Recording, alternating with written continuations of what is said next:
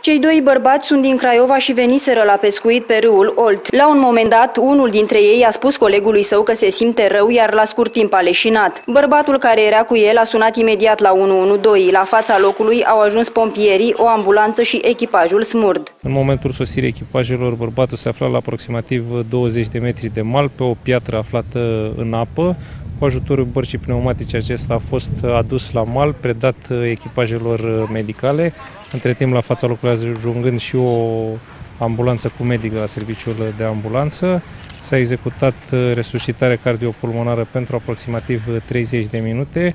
Bărbatul a răspuns manevrelor de resuscitare, fiind transportat la spitalul din Slatina cu semne vitale prezente. Potrivit medicilor de la Spitalul Județean, pescarul se află internat în secția de terapie intensivă, iar în prezent starea sa de sănătate este stabilă.